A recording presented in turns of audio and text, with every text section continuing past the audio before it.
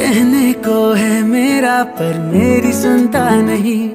कहीं ये तेरे दिल से तो छुप छुप के मिलता नहीं। नहीं तो मेरे